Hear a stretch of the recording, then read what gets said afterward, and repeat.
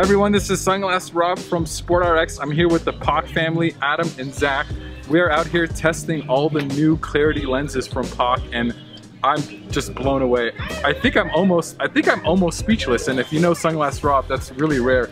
Tell me about this lens, guys. This is just, the, I mean, clarity is the right name. It's unreal. Yeah. So the lens that we have on right now uh, is part of the Clarity series, the Clarity Comp. So it uh, it maximizes the most amount of contrast that you can within our lenses.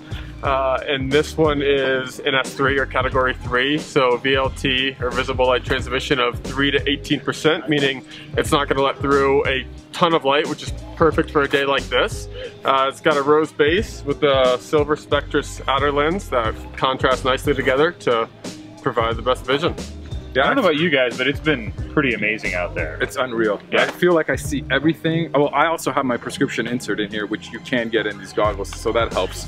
But I feel like I see every nook and cranny and bump and piece of, I mean, I almost feel like it's not fair.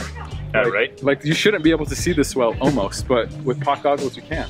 That's what we're going for. Yeah, this, this thing is, Perfect. is unbelievable. And this color, even though it's the S3 category 3 lens, I feel like this could almost be, if you had an everyday lens, this might be it.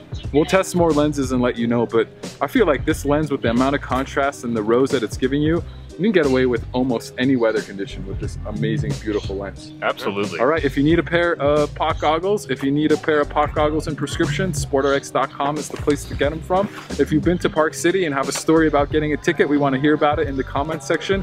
like this video, subscribe to our channel. We'll see you on the mountain. Later. Awesome. Yeah.